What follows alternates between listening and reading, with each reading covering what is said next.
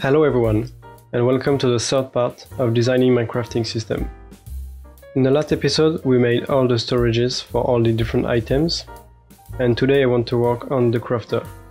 So the goal is to find a way to send all those items to the crafter, which will be around here, and we need to find out the correct timings and how to design the crafter. So we will start by how to make the crafter. So here I prepared everything you need to craft one box of repeater, so you need one redstone dust, two redstone torches and three stones. And as I said in the previous episode, to get all the items from one box, we will just burn the box. But you can just dispense all the boxes and expect to have all the ingredients in the correct order. For example, here I have everything for one box of repeater. And if I dispense everything,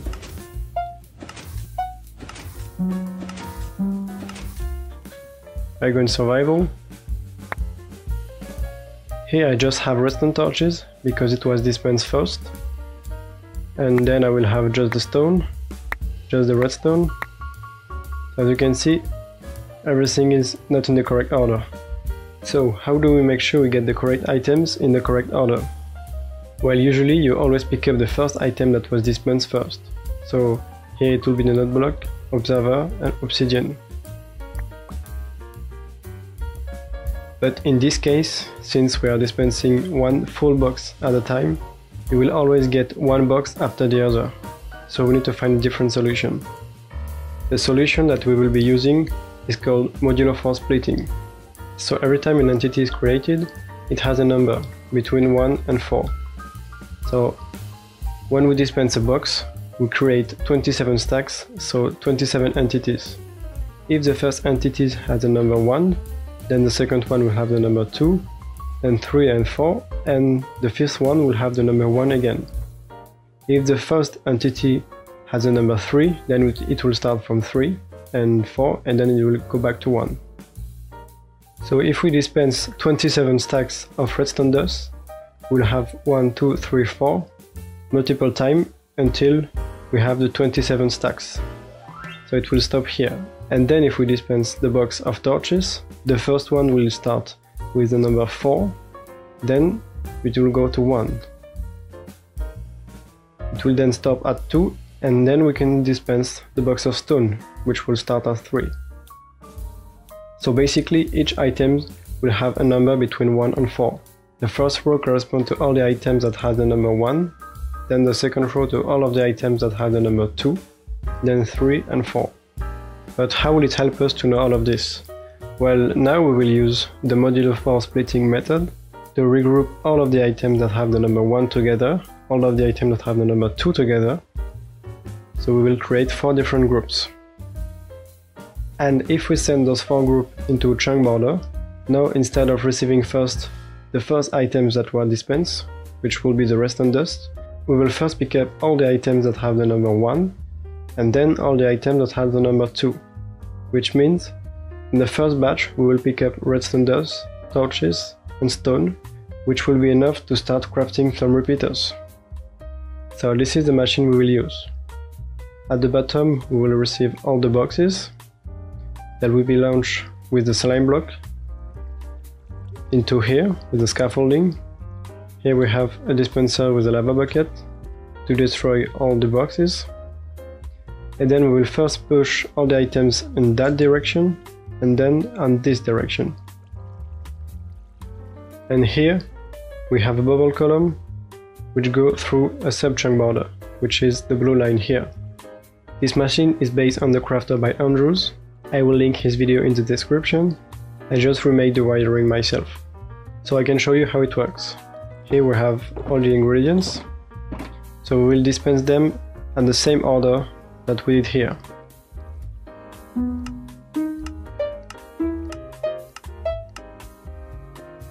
So now everything is here.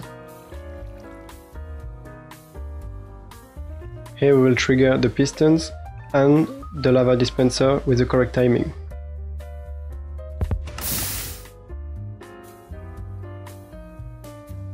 So now we have burned the boxes but not the items. First, we'll need to open this trapdoor. and push the items on that direction. Then we will need to push them on that direction. Now everything is at the same place. And that's how we regroup all the stacks that have the same IDs together. Now I will freeze the game and open this trapdoor.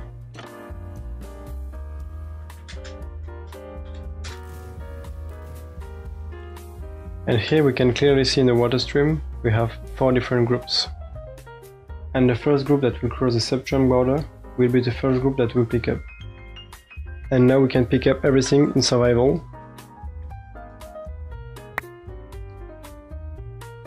So the first item we picked up is the redstone dust on the bottom left, and we have six of them, which correspond to the group number 4. Then we have seven stacks of torches, 7 stacks of stone, and again 7 stacks of torches, and the rest is all stone. And as you can see, the player inventory can only contain 36 stacks, so here we have a few items that you can have in the first batch.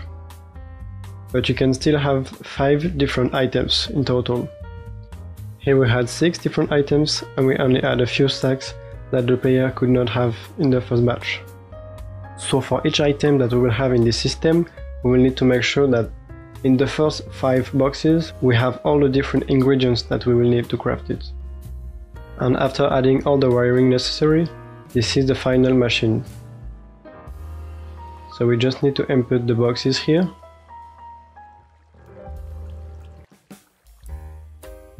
And then you can press this note block.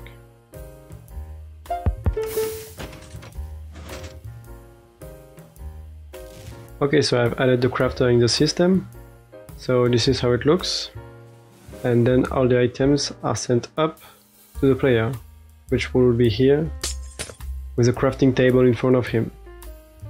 And I also added another crafter because for some items, those one, we don't need to distribute them in the correct order because we just need one item types for each. So for those I just have an empty crafter which I took from the AGMT crafting station by Common Leo. And here I have the system to change the water stream. So if I select this crafter, this line will turn on and all the items will go here. Now all the items that we need will be sent to this water stream here. So my first idea was to have a water stream from each dropper to this one but then it takes too much time for the items that are really far away, like this one. So instead I decided to use some dropper line from here to there, and then a water stream. So I will use this type of dropper line to send all the boxes in this water stream. This way the time between the first and the last box to arrive is quite short. This means that the time between each box that I can craft is also short and now I need to connect those dropper line to this ROM. In the first episode we made this, and here one line corresponds to one item. So we have 18 different items here. So we need to connect each line at the bottom to each storage. And for that I will just use some observers and rails.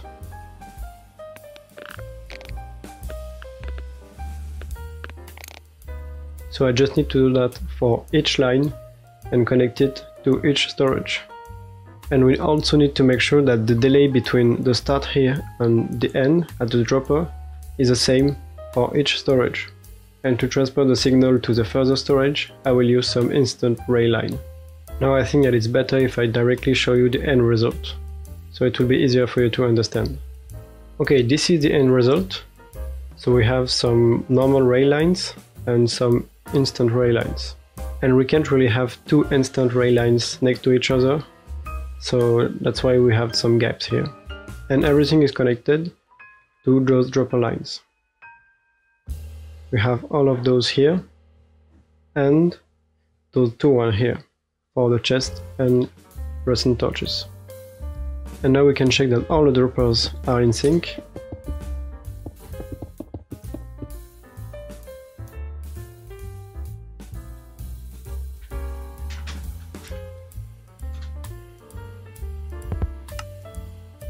and all the boxes are dispensed at the same time.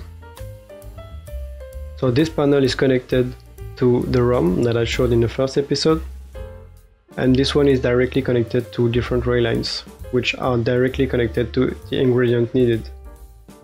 And we also have a clock here of 8 game tick for most of the items. For some of them, like this one, it ticks. It's a 16 game tick clock and for the planks it's 32 game ticks, so I can have one box every 8 game tick. Because each box of logs gives 4 boxes of planks. I will show you at the end of the video how to use this general crafter and in the meantime I will talk about the piston crafter. For the piston crafter I will use this machine by Andrew that I found on a storage tech discord server. So this is basically the same one that I showed you earlier, but it's a lot faster. Instead of dispensing one box after the other, here we dispense the 9 boxes at the same time.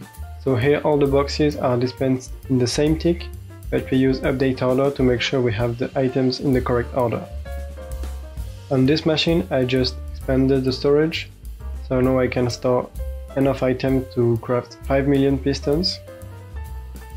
And at the top I will need to find a way to have the redstone dust, iron, planks and cobblestone into the right hoppers.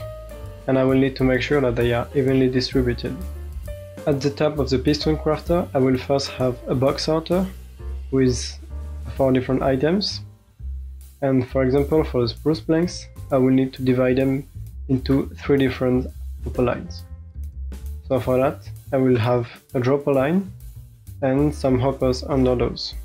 And only one hopper will be unlocked at the time. And every time another box comes through, another hopper will be unlocked. This way the box will be evenly distributed between those three hoppers. And we have the same thing on the other side for cobblestone with four different hoppers. So this is how the piston crafter looks like in the complete system. To turn on the crafter, first you need to turn off the locking line, then stand on this pressure plate, which will turn on the clock. So the fastest clock you could use would be a 20 game tick clock, but here I'm only using a 32 game tick clock, so I don't have to build too many box loaders, because once we craft the pistons, they will be sent down into this water stream and into those box loaders and I use the 6x box loaders by Feelgoodinator. And also all the items that you need to craft the pistons will go here on top of a pressure plate. So if for some reason you stop crafting, the system will stop and your game won't crash.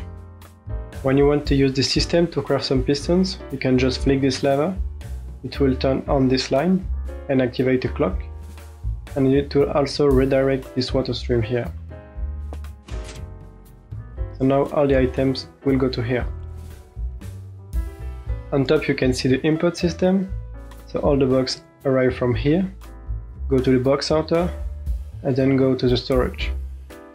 And I also added a system here to know when the storage is full. So I have a comparators with an AND gate for each item.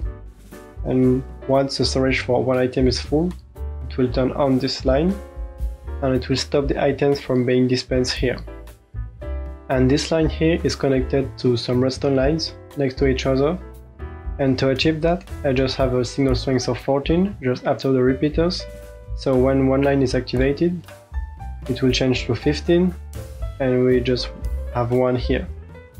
And at the end of the line I just retract the block so the signal can't go through anymore. But we also have an override here. So when we are not filling up the storage for the piston crafter the piston they are still extended. And one last thing I also added to this storage is some comparators.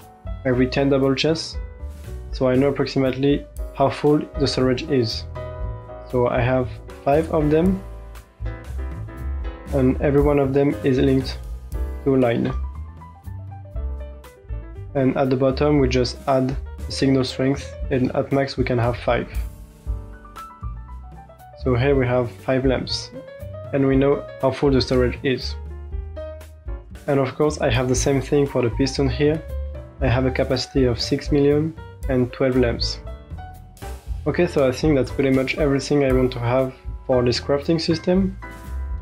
Uh, one thing I changed from the first episode is the clock here. I'm not using some comparators, now I'm using a hopper clock and I have two of them. So I have this one which is for almost all of the items and I have this one just for the rails.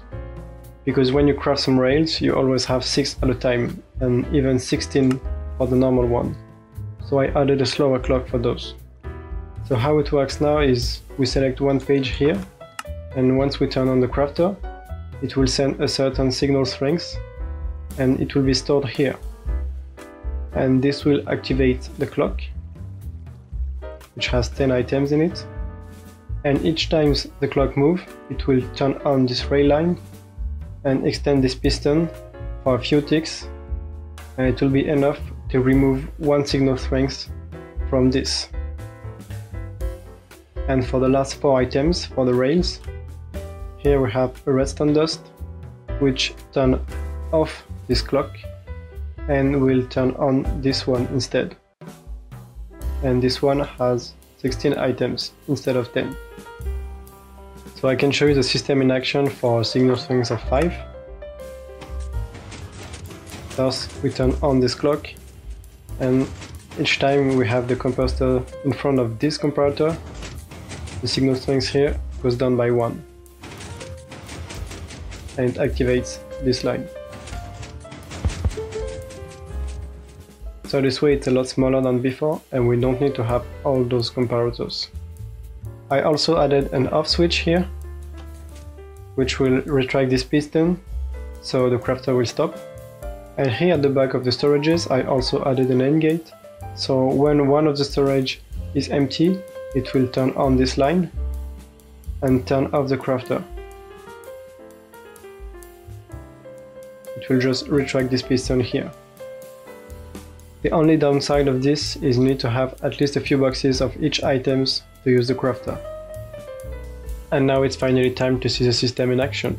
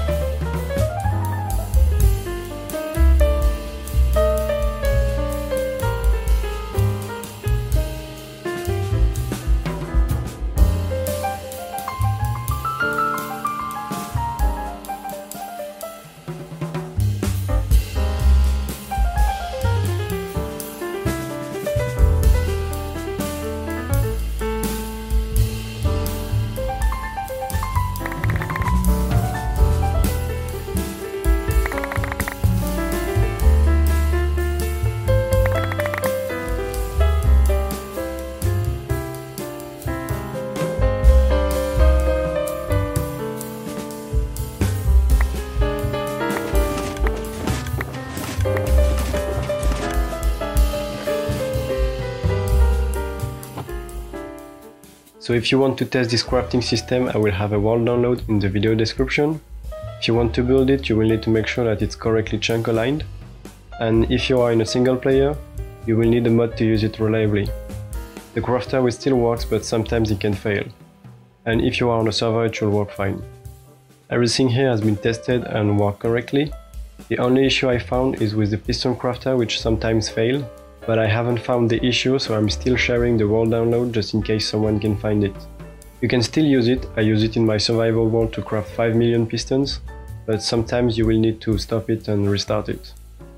And if you want to see me build this crafting system in survival, stay tuned for the next video. As always feel free to ask any questions and see you in the next video. Bye!